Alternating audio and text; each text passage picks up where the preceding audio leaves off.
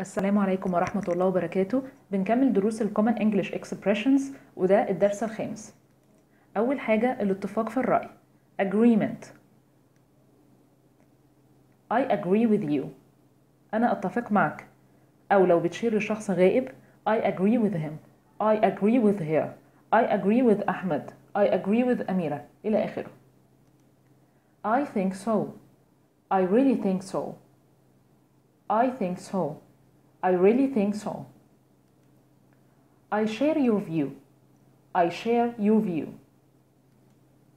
He may be right. You may be right.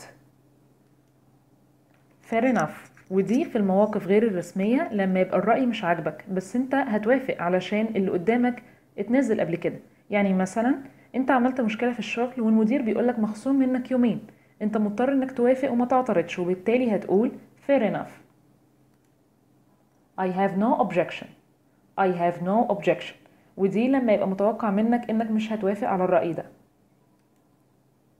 I have come to the same conclusion I have come to the same conclusion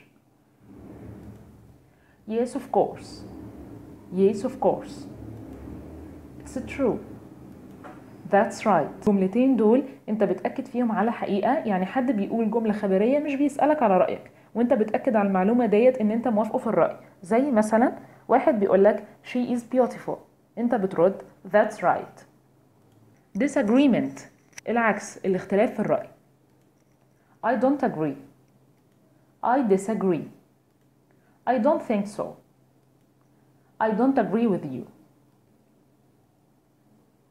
rubbish ده كلام تافه rubbish يعني قمامة he's off his head he's off his head. Head يعني دماغ. I take a different view. I take a different view.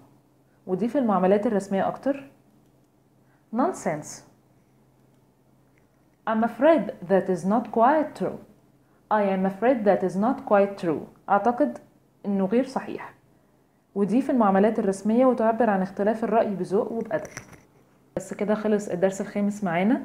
ما تنساش تكتب رأيك تحت الفيديو ولو عندك أي سؤال تكتبه في comment تحت الفيديو.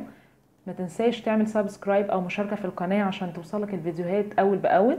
واعمل شير على الفيسبوك عشان الفيديو دوت والدرس دوت يوصل لناس تانية وناس تانية تستفيد. سلام.